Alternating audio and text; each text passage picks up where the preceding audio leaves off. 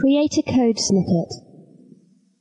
When working with HTML, if you are constantly entering the same HTML over and over, you can create a code snippet that acts as a keyword. And when that keyword is entered, then so is the HTML code associated with it, making entering the same code a lot easier.